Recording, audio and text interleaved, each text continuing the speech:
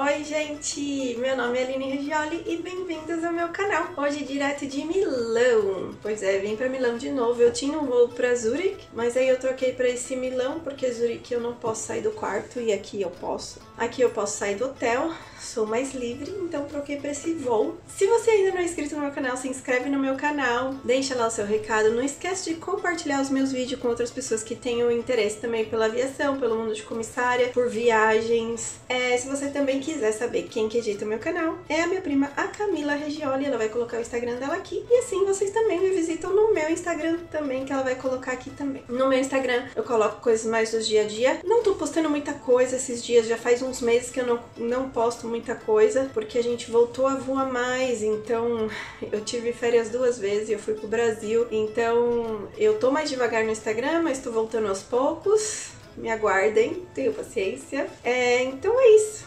Bora?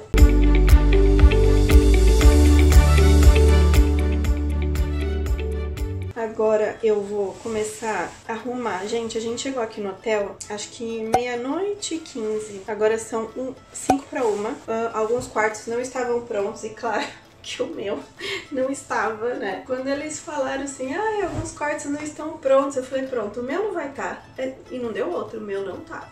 É, eu não sei, eu tenho essa sorte.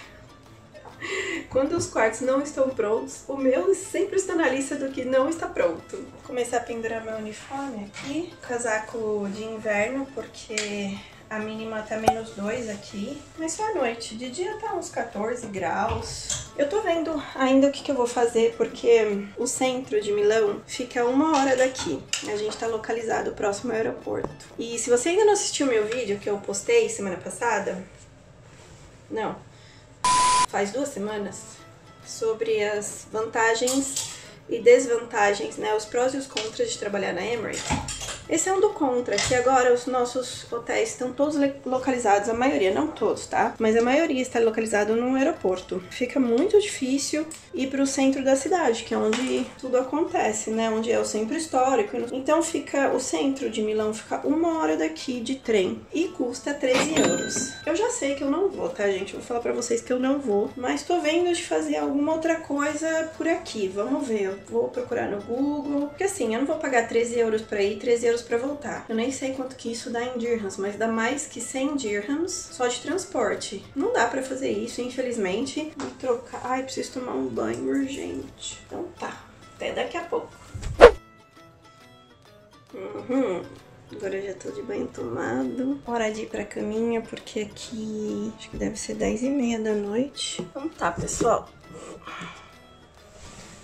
Até amanhã, que agora eu vou pesquisar no Google o que, que a gente vai fazer amanhã. Vamos ver se tem algum lugar legal pra eu ir aqui perto, tá bom? Bom dia, pessoal. Que tão lindo dia. Deve estar tá frio lá fora. Tem sol, mas deve estar tá, tipo uns 5 graus. ainda não decidi o que a gente vai fazer. Bom, gente, eu vou descer Vou conversar com a moça lá da recepção que vai me ajudar com os tickets de trem. Então, peraí que eu vou me trocar. Pronto, já tô vestida. Eu acho que eu não tô vestida propriamente para 3 graus. Mas como tem um... Eu acho que o motorista vai me levar até a estação de trem. Eu acho que eu não vou passar tanto frio. Ainda tenho esses dois... Esse casaco aqui e esse. Vamos lá.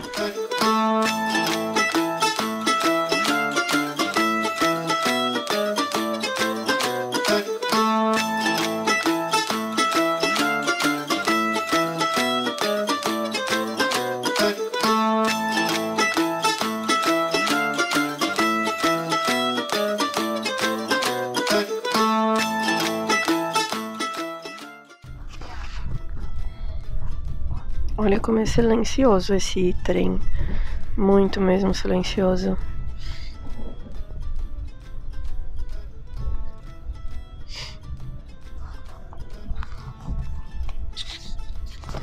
Bom, gente, eu decidi pegar o trem para Milão mesmo. Na verdade, me custou 5,60 euros, porque a gente vinha numa estação, numa estação que não é do aeroporto. E de lá eu vou andando. Essa estação fica 30 minutos andando do Duomo, que é a igreja mais famosa, né, que no estilo gótico aqui de Milão. Então a gente vai lá.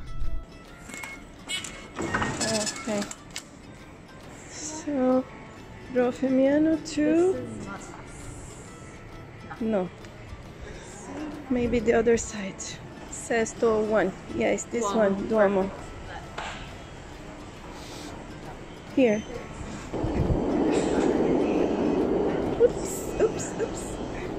Vocês não vão acreditar, a gente foi expulsa do trem porque a gente não escreveu a estação e a data no papel. E ele queria cobrar 10 euros pra gente de multa. E a gente falou, então a gente vai descer. E aí eu, na verdade, eu pedi uma caneta pra uma pessoa, escrevi e mesmo assim ele não aceitou. Então, um italiano bem daqueles, sabe? Bruto, grosso, sem educação, que não sabe nem explicar por que, que ele tá dando multa pra gente. E mesmo depois de escrever, ele não aceitou o nosso ticket e mandou a gente sair do trem. E agora a minha minha guia turística aqui, a gente perdeu a estação. A gente passou duas estações. Agora a gente tá voltando. Que aventura, hein?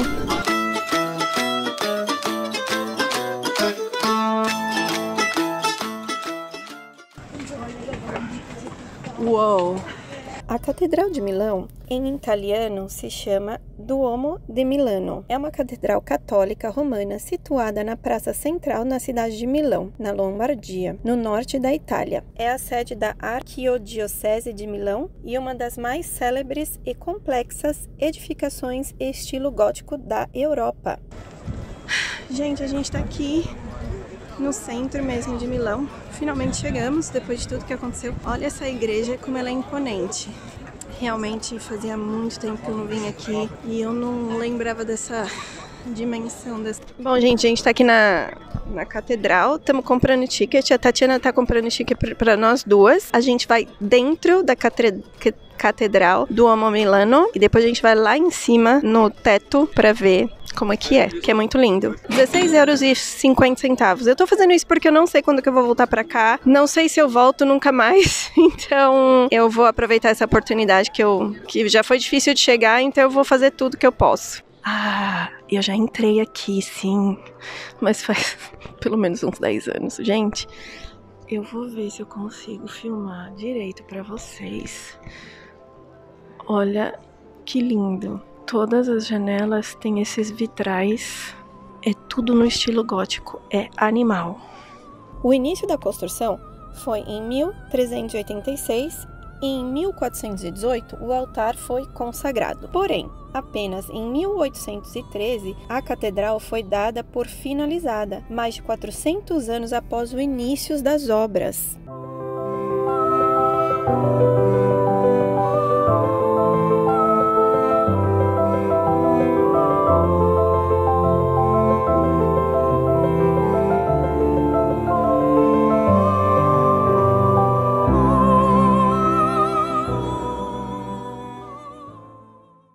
Catedral é imensa, com 150 metros de comprimento e 109 metros de largura. É a segunda maior catedral do mundo. O interior tem cinco naves, com uma altura que chega aos 45 metros, divididas por 40 pilares.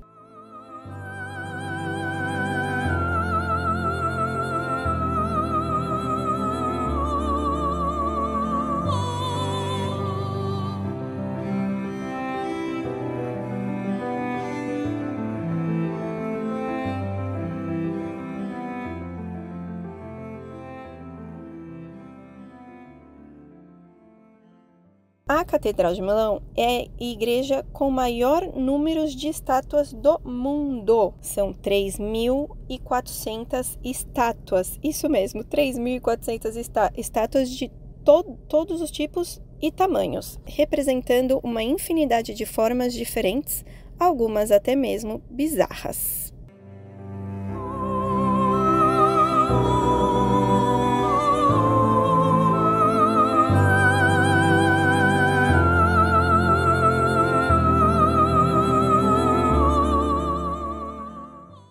Como essa estátua de São Bartolomeu, Bartolomeu esfolado. Eu fiquei um tanto impressionada quando eu vi a estátua. Eu falei, nossa, o que, que essa estátua está fazendo aqui na igreja? Obscura, uma coisa muito obscura e por isso que muita gente fala que tem muitas estátuas bizarras na igreja. A estátua de São Bartolomeu esfolado, feita pelo escultor Marco Diagrati, em 1562 para Duomo de Milano chama atenção pelos seus detalhes, poesia e certa obscuridade. São Bartolomeu é um dos doze apóstolos de Cristo, executado por sua fé cristã, retratado nessa escultura, na qual é identificado após a pena sofrida. O trabalho de Marco de Gagrati não é o de enfatizar o gesto do santo em misericórdia ou em sacrifício, e sim da curiosidade que o século XVI carregava pela anatomia humana. Trata-se, portanto, de um personagem bíblico exposto mais como humano do que santo. A história de São Bartolomeu é que ele foi esfolado vivo. Que horror, né, gente? E a surpresa causada pela estátua é que o elemento qual se parece como um manto, na verdade, é a pele que o santo carrega nos ombros e ao redor, e ao redor do corpo.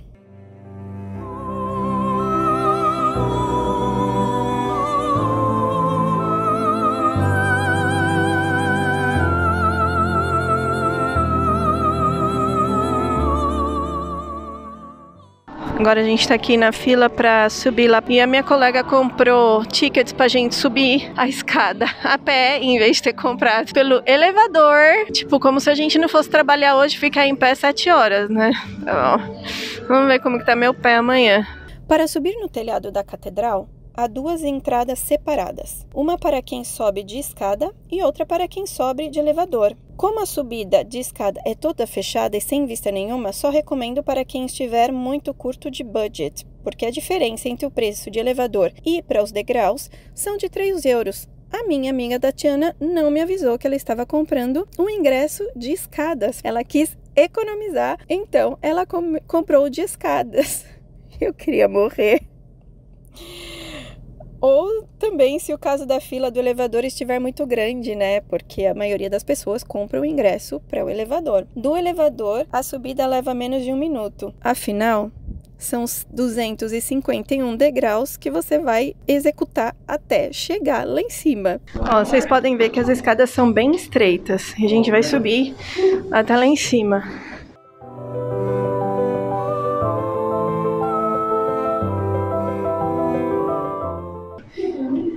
Não conseguindo nem falar.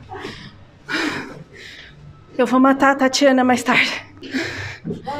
As pessoas estão parando porque ninguém aguenta.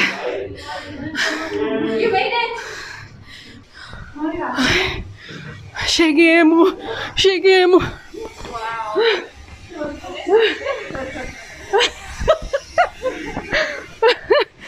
Gente, não sobe de escada, a não ser que você seja que você faça muito exercício.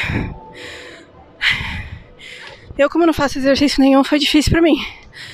Compre o bilhete de elevador. Custa 3 euros a mais.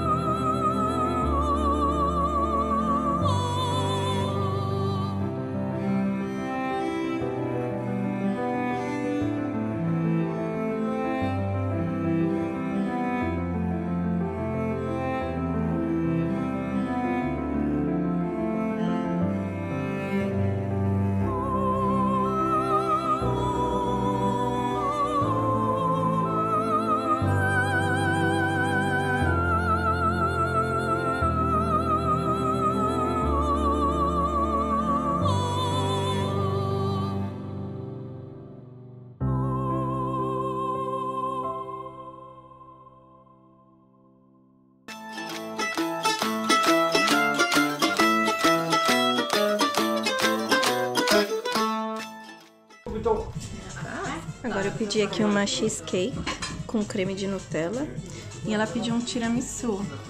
Olha como vem tiramisu. E é absolutamente tudo gluten free. Agora a gente vai começar a voltar pro hotel. A gente vai pegar metrô até a estação de trem e da estação de trem pro hotel.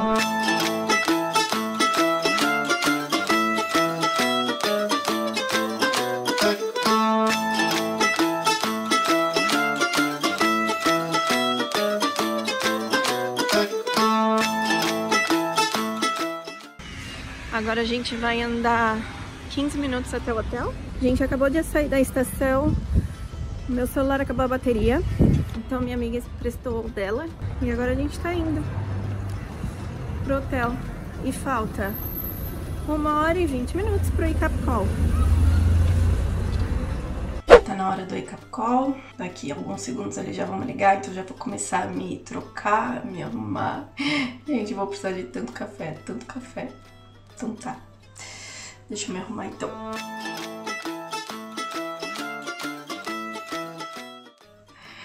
Já tá na hora de ir embora. Bora. Que eu quero casa.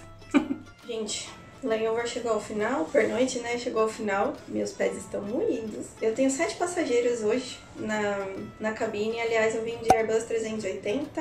O voo, eu tinha cinco passageiros na ida. Business Class tinha 50, a Econômica tinha 300 e pouco. Hoje a Econômica tem 350 mais ou menos, a Business tem uns 60 passageiros e a gente tem 7. Então é um voo noturno, vou precisar de bastante café. Mas espero que vocês tenham gostado. Hoje eu me esforcei para mostrar alguma coisa diferente para vocês, porque eu sei que eu não tenho mostrado muito porque tá sendo impossível. Porém, esse mês vai ser muito legal porque todas as estações, todos os destinos estão verdes, então vai dar para fazer qualquer coisa sempre. A gente vai poder sair bastante. Então é isso. Não esqueçam de se inscrever no meu canal, deixem suas sugestões, seus comentários que eu leio todos, por favor. É, compartilhe meu vídeo para outras pessoas que têm interesse em viagens, comidas gluten free pelo mundo.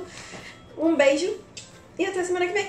Tchau! Ah, e eu tenho que usar essa máscara. A N95 é exigida até a gente fechar a porta do voo. Depois eu uso normal, porque não dá pra trabalhar com essa máscara.